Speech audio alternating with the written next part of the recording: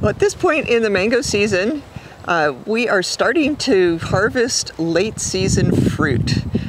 And one thing that we've noticed this year, especially, is that a lot of the fruit that is, you know, that we're picking right now is really big.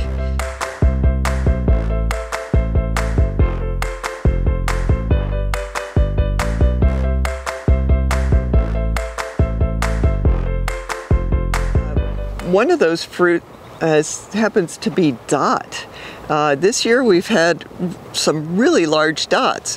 Uh, dot is a variety that you know you can have a fruit that's this big and it tastes great, exactly the same flavor as a large fruit. Uh, but then you get some that uh, are well. Here's some that are not quite as big as the ones we've been harvesting, but that is you know like pound and a half size. Uh, so Dot has been one of those. Uh, this variety right over here is rather large. I think it's the last fruit on this tree. And, you know, it's pretty darn round, green, uh, and the, the leaves are, are really skinny uh, and dark green. The tree grows very compactly, and I'm telling you these things because I don't know what variety this is. So if you have a guess as far as what variety this is, let us know. Uh, but fruit are, you know, are clean and rather large. And I like that it's on a compact tree. So we have this one fruit to taste.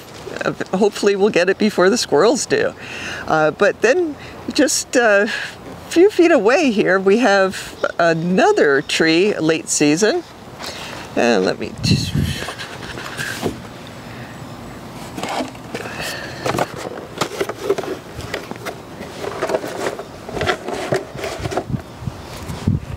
So this is a, a Venus, and th these fruit are not full size yet.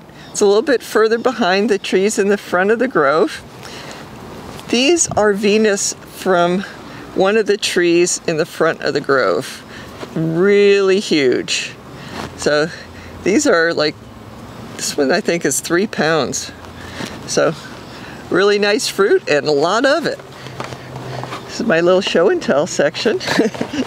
so here is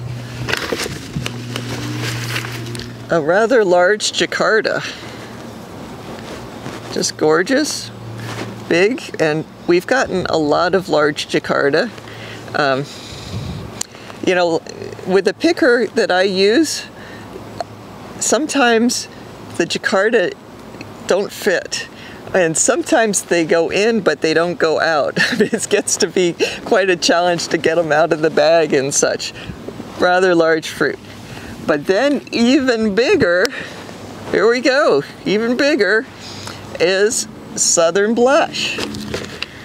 Uh, we don't have a lot of Southern Blush fruit, but a lot of what we have is really big. Okay, this is going to be the end of show and tell, but here we go. Valencia Pride, really large. Those are more than two and a half pounds each. So that's a lot to love. And then don't even want to come out of the bucket. So these are pretty darn big too. This fruit happens to be Jacqueline. Very nice variety, uh, but some of the fruit are just really big.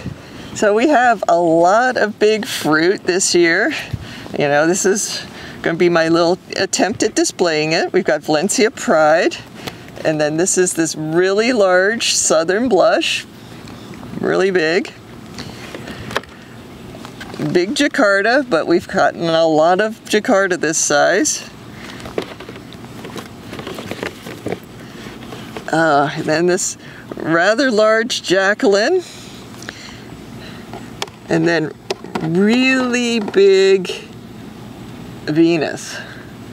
So just much bigger than normal. So you know, one of the things I'm thinking about is possibly because the a lot of our trees didn't set a lot of fruit.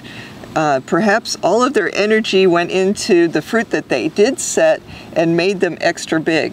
Uh, certainly we haven't had a lot of rain this year, uh, so it's not because they, we've gotten tons of rain. Uh, so possibly there's just not as many fruit on the tree, and so you know they get the what fruit there is gets more resources. But the the end result for you is if you're looking to buy these fruit is you either need to be really hungry or have a lot of friends to share this with because you know they're big they're beautiful and they're tasty